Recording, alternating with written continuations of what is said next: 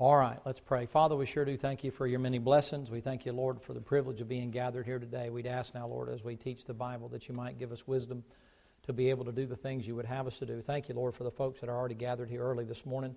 I pray, God, you'll bless them as well as those that are on the way and those that have traveled from such a great distance. We thank you for giving them traveling mercies. Uh, Lord, so often we take that for granted that you're just going to get them here and Appreciate you clearing all the things out of the way for them to get here and pray now that you'll bless us with your presence. We pray in the name of Jesus Christ. Amen. Amen. All right. Glad you're here this morning and glad for the most part you're well. We got some people back among us that have been real sick and some people are still out. And uh, somebody asked me the other day, they said they got the, the, uh, the flu and we're thinking about coming. And I said, well, uh, if you're going to come, I'd suggest two things. One, if you want to come, okay, but I'd stay in the back and stay away from everybody because, from what I understand about it, it's pretty contagious. And I said, uh, you know, you're you're pretty young, but when old folks get something like that, it can uh, it can really put a hurting on us. And uh, so uh, they decided to you know to stay home and tune in, and I completely understand that. Uh, in the old days, I think I mentioned this on Wednesday when somebody got the measles, you know, the parents will load you up and expose everybody to the measles. Well, nowadays with this stuff going around, you you don't even know what it is you're dealing with. And uh, so when you're sick, then do your best to get well and then get back among us. Uh, all right, Revelation chapter number 8. Now we left off in chapter 7, the last verse there. Uh, in verse number 17, the Bible says, For the Lamb which is in the midst of the throne shall feed them and shall lead them into living fountains of waters God shall wipe away all the tears from their eyes. And uh, you can get that thing from Wednesday night if you'd like to, but there's two times it's mentioned. Both times it's after judgment. One is after the judgment seat of Christ. People say, when I get to heaven, there'll be no more tears. We sing those songs all the time, but there's still going to be tears in heaven.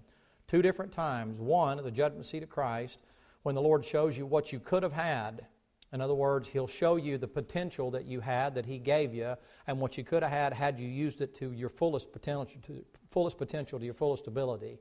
And then the other time will be at the great white throne judgment, and this will be after you have the mind of Christ. Once you get the mind of Christ, come to uh, Matthew chapter 23, I'll show you something. Once you get the mind of Christ, it doesn't make you cold and hard and uncaring and unconcerned. Matthew chapter 23. Uh, you'll see people come up there that, believe it or not, you'll know. And uh, the, the sad thing about that is, is that when they come up there, Matthew chapter 23, when they come up there, they'll come up either one, they'll have come up after the millennial kingdom, or two, they will come up from hell. The ones that you know will have come up from hell. That means they get a break from hell, which is a literal burning furnace down in, down in the center of the earth right now. And it's burning right now. And uh, like the old preacher said, he said, you know, uh, his, his mother died, and his daughter asked him, said, Well, uh, Daddy, you believe uh, your, your mother is in hell? He said, Yes, if she didn't trust Jesus Christ as her Savior, I believe she's in hell. Uh, Daddy, is she burning right now? And he said, Yes, if she's in hell, she's burning right now. Daddy, is she screaming right now? And he said, Yes, she'd be screaming right now. She's in everlasting torment. And he said, I don't look forward to the day. He got kind of broke up about it. The, the day that I see my mother come up at the great white throne judgment, and I look at my mother, in spite of all that she did wrong, and my mother stands there in front of the Lord, and when he gets done, he says, Depart from me, you cursed, into everlasting fire prepared for the devil and his angels, and says, Get out. And she bows her head and bends her knees and confesses Jesus Christ to the glory of God the Father and then off into eternity she goes and loses her bodily shape there and goes down and burns in the lake of fire forever. Now, uh, you'd be an awful, uncaring, very cold hearted individual if that didn't touch your heart and make you weep over that. You say, Well, preacher, how can I prevent that? Well, do the best you can to tell them. Do the best you can to minister to them. Do the best you can to witness to them. And there's a lot of ways to do that. I gave you the passages in Jude, and the reason I'm going over this is, is it's not have you ever noticed this? God's not in a hurry. It would help you all if you would learn God's not in a hurry, and that way you learn to slow down a little bit. It's not, I got to get him in, I got to get him in, I got to do it right now, I got to do it right now, the door's shut, and I got to get him. And sometimes what you do is you put pressure on somebody to respond to your pressure instead of learning to respond to the Holy Spirit. So all you, your job is, is to tell them and after that, it's the Lord's deal to close the deal. You're not here to close the deal. You're not here to get them signed on the dotted line. You're not here to hurry and to get them to church or to whatever. You're there to present it and let the Holy Spirit lead them. Uh, but the thing that'll happen is, is when you get there in, in uh, at the great white throne judgment, that'll be after you've already gone to the judgment seat of Christ. It'll be after you've had the marriage supper of the Lamb. It'll be after the, the millennial kingdom where you'll be ruling and reigning with the Lord. It'll be after the judgment of nations. It'll be after the battle of Armageddon. It'll be after the, the battle of Gog and Magog. And now they're standing up there in front of the Lord. And all of a sudden, these people start coming out one at a time. And for people that you don't know, it probably won't mean anything to you. Not much. But here the Lord does this in Matthew, and this is the, the, uh, the, the, thing I want to show you so that you'll understand that it, if the Lord weeps over it, and if you have the mind of Christ, I imagine it'll make you weep too. That somebody would have to spend eternity like that. You know what's going to happen, ladies and gentlemen? You get to the great white throne judgment, in spite of the fact that you have a mind like Christ, you know what's going to happen? You're going to be up there and you're going to see people that lived a better life than you lived without Christ and you get the break and get to go to heaven, and they wind up going to eternal lake of fire and burning forever because they rejected him. Now they're going on their own. I get all that. I understand it. But you don't ever want to be so cold and so hard hearted and so calloused that you rejoice over somebody going to hell and you rejoice over somebody going to the lake of fire. Jesus Christ didn't rejoice over people going there. He is not willing that any should perish, but that all should come to repentance. The reason he came to die was to give them an opportunity to get out. He doesn't say, oh, goody, I'm glad they get to go. Yeah, there's passages in the Bible about judgment coming on them and that kind of a thing when they, when they do that, but that's for him to do. That's certainly not for me and you. Uh, the great white throne judgment won't be one of those times where you get up there and get to say, nah, nah, nah, nah, nah, nah, I told you so, I was right and you were wrong, and now you're going to burn forever. You don't want to get up there with that kind of an attitude. And sometimes, I, I hate to say this, but sometimes our witnessing in the day and age in which we are now comes across with that edge to it. It comes across with this I'm right and you're wrong.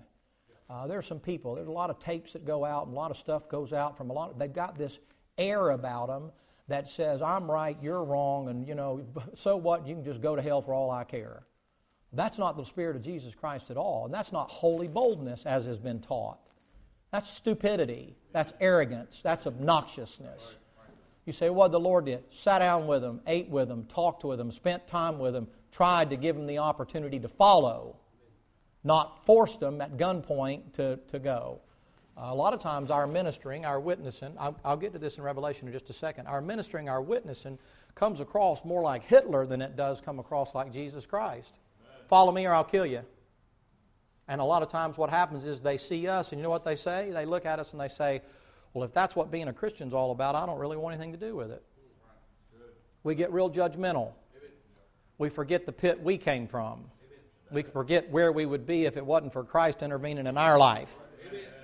And, and when that happens, you have, an, you have an edge about it. And we, we liken it unto boldness. It's not boldness at all.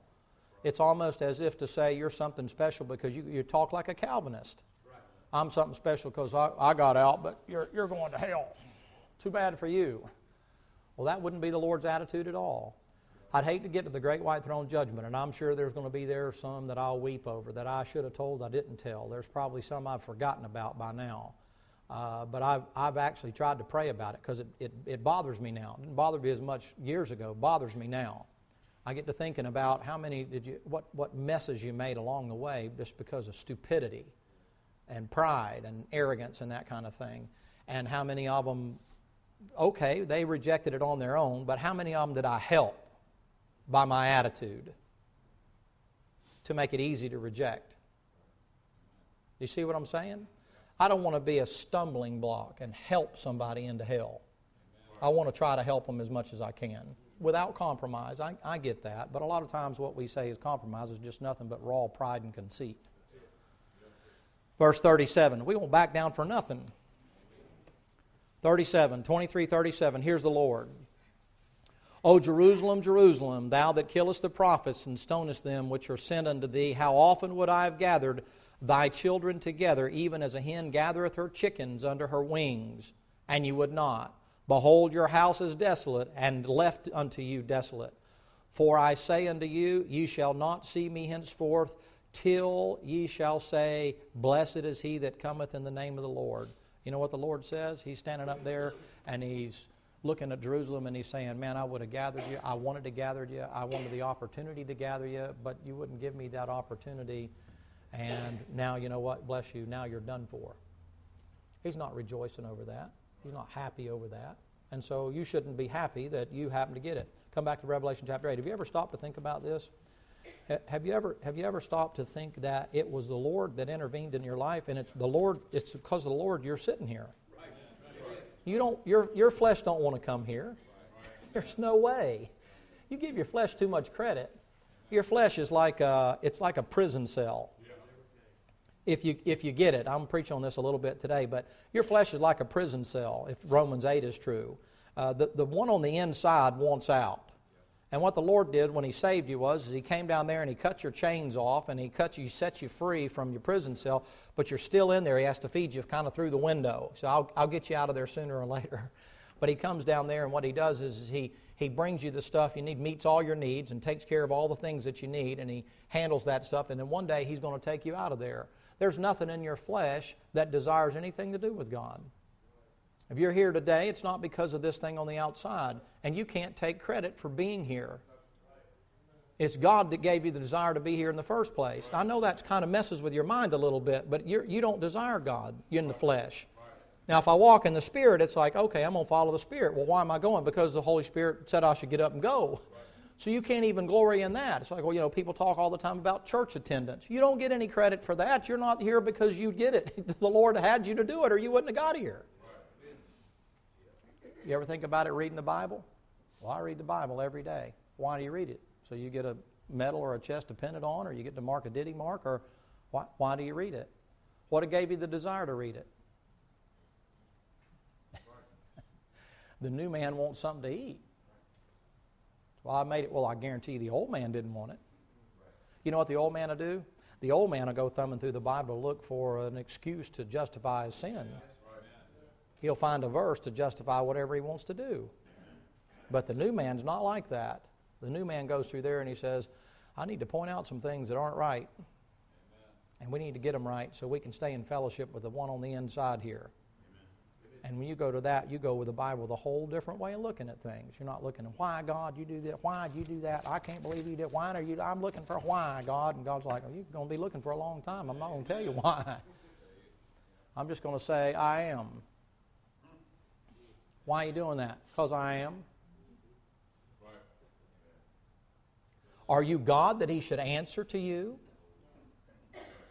If He answers to you, bless you, if He answers you, who's the God then? You ever think about some of the stuff we ask Him? Revelation chapter number 8, verse number 1. That's all free, no, no, no extra charge there. verse number 1. Uh, that, that's uh, self reflections uh, of, of my own personal life. The Bible says this in verse number one And when he had opened the seventh seal, there was silence in heaven about the space of a half an hour. Now, there's a lot of conjecture about this stuff. A lot of people talk about, you know, what the silence in heaven is. One fellow says, well, I know why there's silence in heaven because there's no women in heaven, and that's why it's silence in heaven, and that's funny, but it's not true. Uh, uh, there may not be women in heaven, but that's not why it's silent up there. That makes uh, you know a good joke, but that's not the that's not the truth of the matter. I'm sorry, y'all are cold. We thought it might be a little uh, a little warmer in here this morning. Anyway, uh, then the other thing is is that notice that first of all the seventh seal gets opened up. Now it doesn't say that the seventh seal gets opened up and that starts the second trip through it says that the seventh seal is open, which means you're at the end of the tribulation, and now you're fixing to start your second trip through. Okay, to show you that at the same time the other things are going on, the seals are going on, he's fixing to show you the things that are going on with the trumpets that go on at the same time. So, why is there silence? Because you're at the end of the tribulation. Now, here's the best I can do with this. The best I can do with this, as long as Jesus Christ is present, there's something to shout about. So while the Lord's up there, they're over there in the passage. Remember what he says in uh, chapter number 7. He says, A great multitude which no man could number, and all the nations and kindreds and people and tongues stood before the throne, before the Lamb, and clothed with white robes and palms in their hands, and cried with a loud voice, saying, Salvation unto our God, and so on and so forth, and worship God, saying Amen. Verse number 12, the end of verse 12, saying Amen. Who are these? These are they that came out of, out of, the, out of tribulation. So there's a worship service going on up there. Now, the best I can do with this is, is that when the Lord leaves, there's nothing to shout about. So he must leave to go down to get the tribulation saints at the end of the tribulation because there is a rapture that takes place. This is the third one that takes place at the end of the tribulation. When we get over to it in Revelation chapter 11, this will be Moses and Elijah, and this will be the 144,000 male virgin Jews and their converts, the ones that are crying out from under the altar. That altar that's there, that one is on the earth, but then there's another one in heaven, which we'll get to a little bit later on today, or tonight one. So here's what you need to understand. They're all up there shouting and praising the Lord and so on and so forth. And the Lord gets up from off of his throne and he says, I'll be back in a little while. And he leaves heaven. And at that moment, everybody's like, well, ain't nothing to shout about if the Lord's gone. You should get that. That makes good, that makes good uh, uh, uh, understanding of a worship service. What's the point of shouting if God ain't in it? What's, what, what are you shouting about? To show out? What are you shouting about? People shout at a ball game, they shout at this and they shout at that and all that other kind of stuff. Well, that's all fine in the flesh, but in a worship service, Ichabod is uh, in, in the Old Testament. You remember when the Bible says that uh, Eli fell off and because he was fat, he broke his neck, and his two sons were uh, given to all kind of things that they shouldn't be doing and entertaining prostitutes and this and that and the other. And uh, then the, the ark gets taken off, and the woman gives birth to the child. You know what she names the child? Ichabod. The glory of the Lord hath departed and then it gets silent in Israel. Why? Well, there's no point in shouting if God's not around. Right. No point. There's no because why? Because any worship done without God, the center of it, is not. It, it, it's not. It doesn't count. It's idol worship. Amen. It doesn't matter even if it looks like it's a worship service. You got a lot of that going on nowadays. And so what happens here is, is that it looks like the Lord leaves. He goes down to pick up the tribulation saints. He comes up and delivers them like Lot puts them in a mountain like Lot and his two daughters. And then we get on our horses and we come down, and now you got the Battle of Armageddon and you got the millennial reign and so on and so forth. So it looks like he takes them up there and puts them there for safekeeping while we come down for the Battle of Armageddon, and then we start in, after the judgment of nations, we start in for the millennial kingdom. Now, that's the best I can do with that. That's the only reason I can figure there'd be silence up in heaven, is because the Lord left and there ain't nothing to shout about when the Lord's gone. Um, so, you know, you say, well, I don't know. Well, here's the great thing.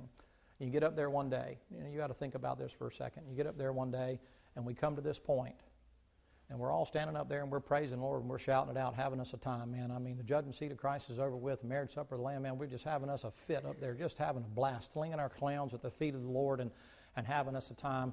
And then all of a sudden, he gets up and says, uh, I'll be back in a little while. And we're going to all look at each other and go, I guess that's, I guess that's what it was.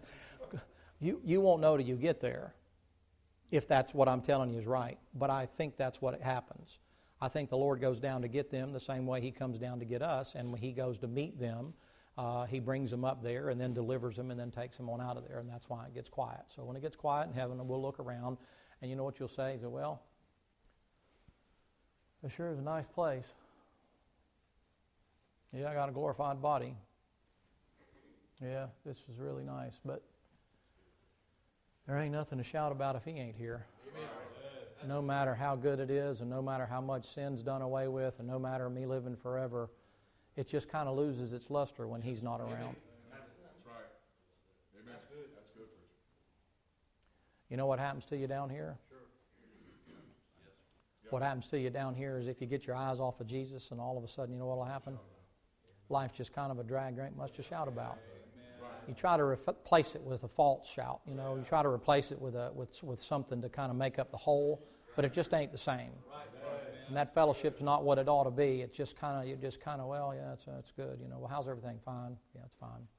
Bills paid. Yeah, I'm fine. Yeah, my wife and I getting along. Yeah, it's fine. Kids are good. Yeah, we're all yeah, we're good. We're all yeah, we're all good. Yeah. Well, what's the matter, man? Been a while since I met with the Lord. Yeah, been a while since I felt Him tugging my heart been a while since you know we've had that fellowship. I mean, I'm going through the motions. I mean, I mean, I'm, I'm still going to church, reading Bible, praying, and all that kind of stuff. But just I've, I've read every book and listened to every tape, and I'm scanning the net and looking for all the sermons and all that. But it just it's just not. Uh, well, brother, what's the matter? Sister, what's the matter? Well, just the, the Lord. You know, is just not there. So just kind of don't feel much like shouting. You'd be surprised when the Lord shows up. No matter how bad your troubles are and problems are and difficulties are, you still feel like shout just because He's there. Do you see the practical application? The practical application for me and you is, is that he can't be replaced with things. It don't get any better than it's going to be for me and you if you're here and saved. And I know everybody here today, I think everybody here. And uh, it don't get any better for us that are saved when we get to heaven. And yet when the Lord leaves, what, what, what good would it be to get to the New Jerusalem and Jesus not be there? Right. That's right. Amen. Oh. It's just another place to hang out. That's the center point. That's the diamond in the king's crown. That's the, that's the focal point. That's what makes heaven heaven, is Him. And when you lose that in your Christian life, that's when your life starts heading south. So what happens? It's not only that you don't shout in worship services, you quit talking about Him. One of the first things, as I told an individual the other day, that goes when you lose your fellowship with the Lord, the way you know it is is you quit talking about Him. Um, you, you, you, stop, you stop telling other people about what He did for you. Not what He did for everybody else, what He did for you. You ever notice that about the Apostle Paul's testimony? The Apostle Paul's testimony is not, well, let him tell you he did this and he raised so and so's son and he did so and raised so and so's daughter and he healed Peter's mother in law, he did so and he did that. He, you know what he's always saying? Let me tell you what he did for me. Paul's constantly reminding himself of where he would be if it hadn't been for Jesus. That's, that's a good thing. That's the center point. Verse 2. I saw seven angels which stood before God, and again we're given the seven trumpets. All right, we're getting ready to uh, the trumpets are getting ready to prelude to uh, to judgment here, and the judgment's going to take place. Verse number uh, three. This is someone other than the seven, and another angel came and stood at the altar, having a golden censer, and there was given unto him much incense that he should offer it with the prayers of all the saints upon the golden altar which was before the throne. All right, now the thing that you have to understand, uh, first of all, come over, if you will, please, to the book of Exodus. The thing that you have to understand, Exodus chapter 30, is that there is an altar that is up there in heaven. He's not talking about the altar of the temple that's down on earth, though there is one. He's talking about an altar that's up there in heaven. I remember over there in Isaiah chapter number 6, when uh, Ezekiel, I mean Isaiah is standing there and he sees the Lord, and there's a seraphim that comes down there and takes a coal with the tongs from off the altar. All right, what you have to understand is, is the things that you see here on earth, they're patterned after things that are up there.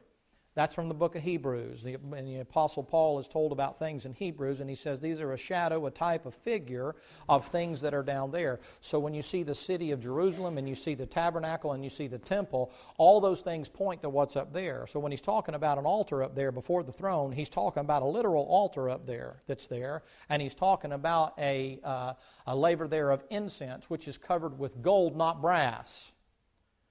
Brass is uh, for judgment, and gold is for the Lord. That's, uh, that's uh, God, has to do with God. So in Exodus chapter 30, you see where he's talking about, and he's getting ready to offer these prayers up. And prayers have to do with the saints, which we'll get to in a minute. Exodus chapter 30, verse 1 Thou shalt make an altar to burn incense upon, of shittim wood shalt thou make it.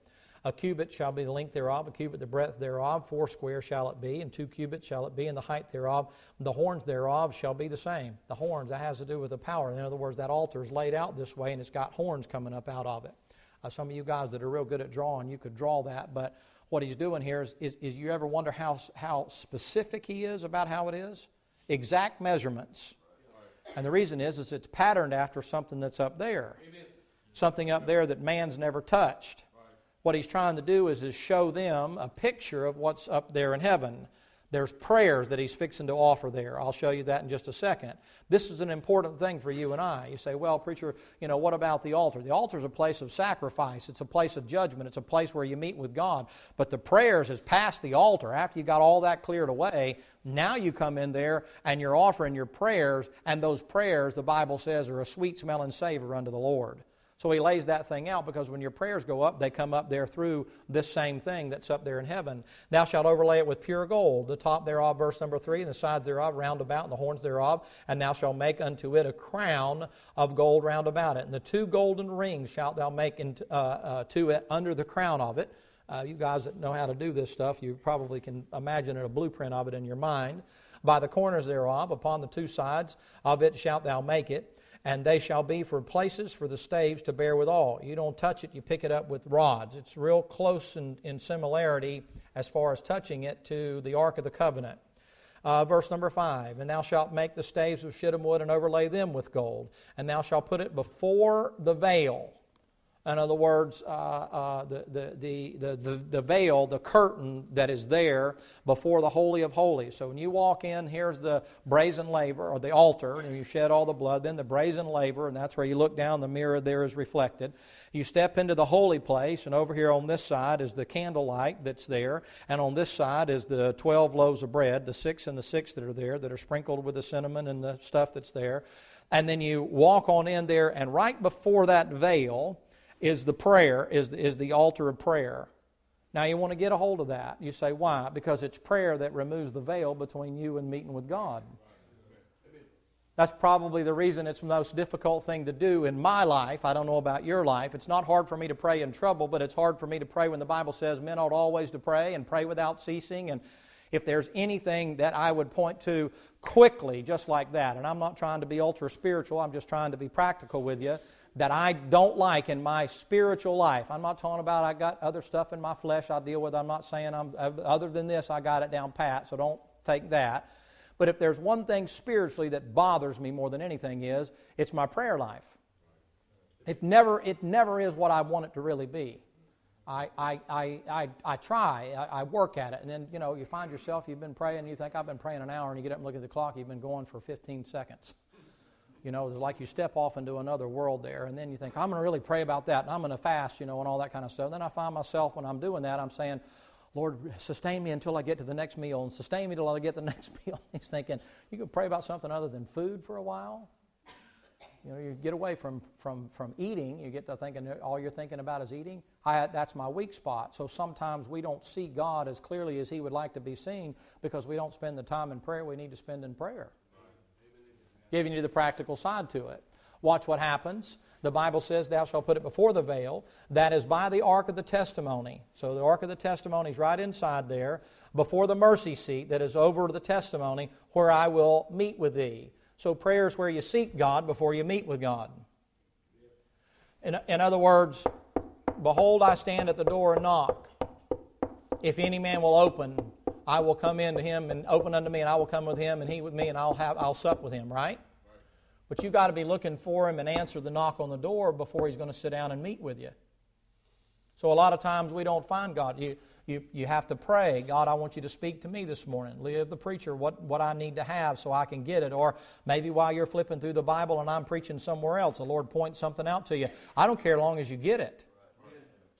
It's not always every message is for you. Some of them are takeout bags for other people. And sometimes you're sitting there and you're reading something else while I'm saying something, and you're looking at something, the Lord's going, Look at that right there, look at that right there. And you're going, Oh, man. Oh, man. And the Lord's dealing with you about it. Okay, great, man. It don't make no difference to me as long as God speaks to you. All right, verse number six. Put it before the veil of the ark of the testimony, before the mercy seat is over the testimony, where I will meet with thee. And Aaron shall burn thereon, watch it, sweet incense every morning when he dresses the lamps, and he shall burn and increase. Now, before you stop there, notice this. He says every morning. Remember the thing I gave you a couple of Sunday nights ago about the manna? And the manna came in the morning. Now, I realize we work shift work now, and I realize people work night shifts, and I realize all, I understand all that kind of stuff. But what he's talking about is, is that there is a consistent time that you make allowance for uh, your Bible reading, your gathering manna, and your prayer life. If you just wait to say, I, I think I'll pray when I feel like it, well, if the Bible's right, you probably aren't going to feel like it till you're in trouble. You have to actually make it a point to say every day, like, like this. There's times, she's not in here, but I'll say it if she wasn't here.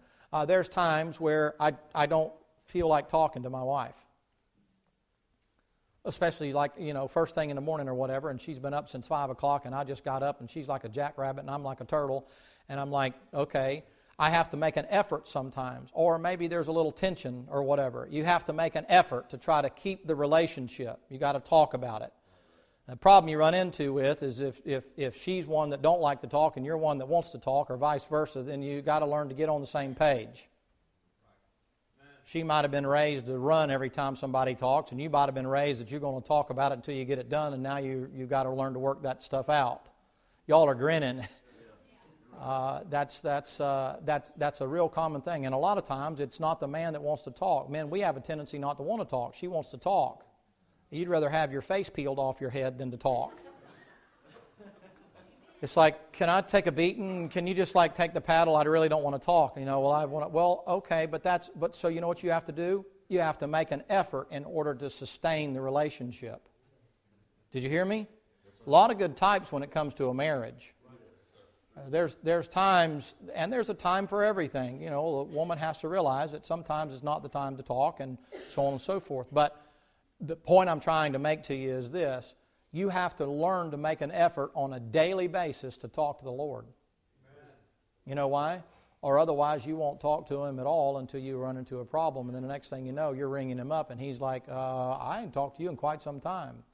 You ever hear the old, I guess it was sort of a, told in the sense of being a joke, Did you ever hear the, the, the saying that uh, I guess the day that uh, Hurricane Katrina came through there, that God heard a lot of voices he hadn't heard in a long time? Well, that could be said about us in the church. What he's saying here is, is he says it's perpetual. That means continual. That means that that incense never went out. That prayer was always going up. When he says pray without ceasing, you ever get a burden for somebody? You ever look at the book of Habakkuk and you see that guy? He starts off with in verse number one and he says, The burden that was upon him. And he was weeping and crying over the people. That meant that was a burden to him all the time. You ever get a burden like that about somebody, about a person, about something going on? Not just personal stuff, but somebody that you're concerned about their relationship with the Lord? and just you're, you're, just every time you're thinking about it, you're saying, Lord, do you remember, you know, John? Remember John, Lord? I, I appreciate if you do something for John, Lord. And the fact you're sort of carrying that thing around with you on a regular basis, perpetual, continual. You say, what does that do? It keeps you in front of the Lord on a regular basis. See, prayer does a lot of things. It not only gives you requests and all that other kind of stuff and helps you to get in there when you really need to get a hold of Him and that kind of a deal, but when you're talking to Him, you have a tendency not to be talking about others. And when you're talking to him, you'd be surprised. It'll keep you out of a lot of trouble. It'll keep you from talking about others, but it'll also keep you from thinking things you shouldn't be thinking and doing things you shouldn't be doing. You say, why? I don't mess up when I'm praying. You say, doesn't stuff come into your mind? Sure, it comes in your mind. Anytime I get quiet, stuff comes into my mind.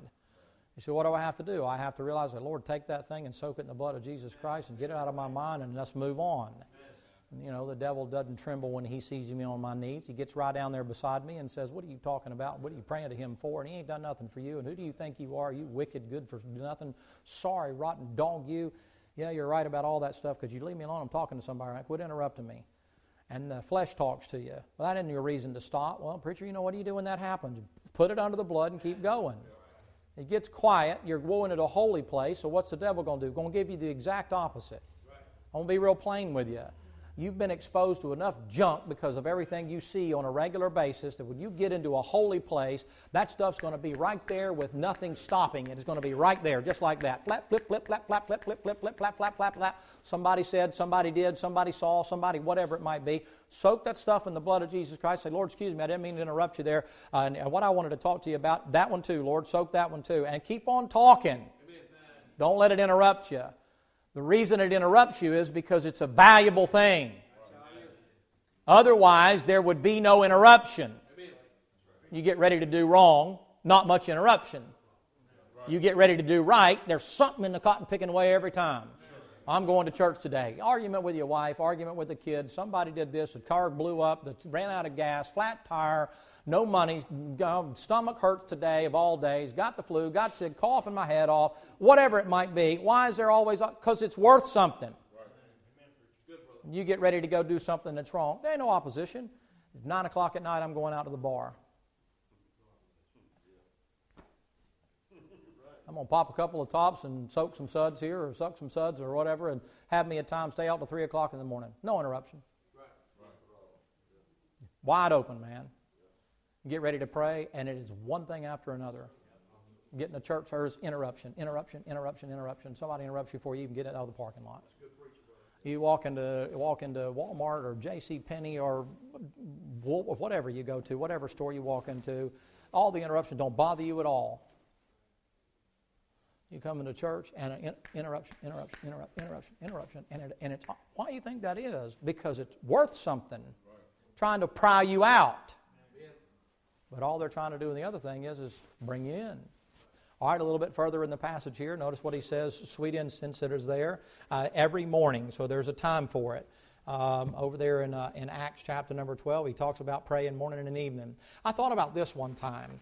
Uh, we, were, we were at a, a, a prison one time and uh, watched a guy over here. It was noontime. We were getting ready to go to the uh, place to uh, eat something. And uh, there's a guy out in the middle of the, of the yard there, that's what they call it, but the field in between the mess hall and the, the prison thing. And this guy stops right there. He's like by his watch and stops and I guess finds what east is. And he gets down on the uh, grass there and he starts praying. And I asked the chaplain, and I said, What is that? He said, Well, that guy's a devout Muslim. And he does that every day, no matter where he's at. He does that every day.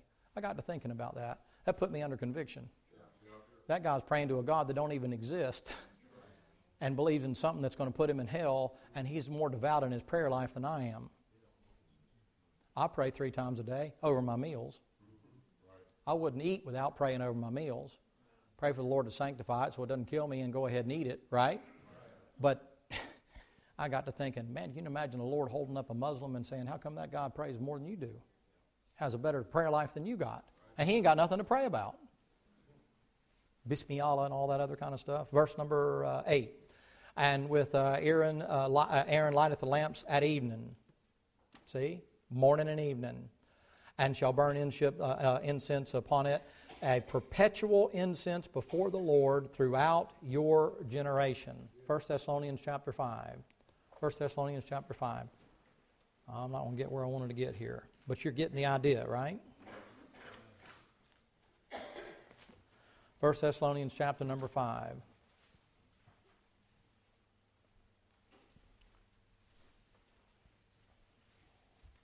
Verse 17.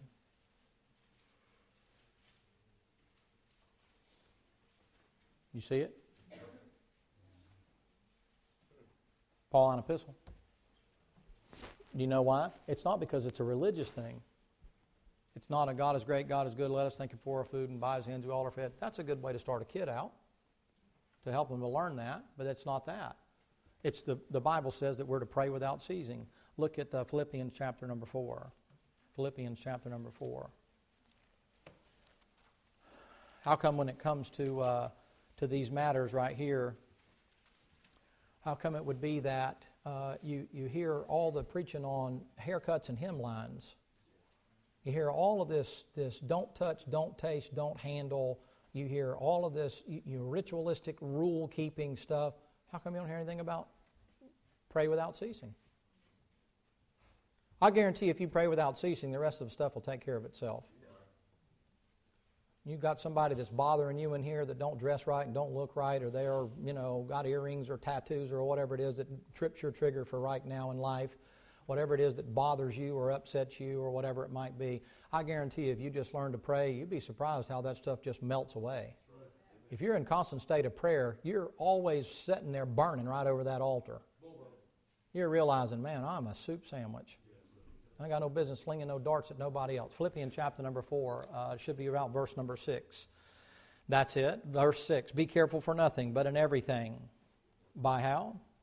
By prayer and supplication. With thanksgiving, let your requests be made known unto God. With everything. You're supposed to pray about everything. Romans chapter number 12. Well, stop off in Ephesians. Ephesians chapter number 6. Galatians, Ephesians. Now, I'll give you the types of this this evening. Ephesians chapter number 6, and look, if you will, please, it'll be in verse number 18, 17. Now, if you got an old Scofield Bible there, he divides the thing about the warrior's armor, and then he comes down there and talks about your resources and all that. But there's no break in your original text there. When I say original, I don't mean Greek, I mean English. The Bible says praying how often? Always. Always. Y'all got a little sheepish there. verse 18, 618, praying always with all prayer and supplication in the Spirit, and watching whereunto with all perseverance and supplication for who?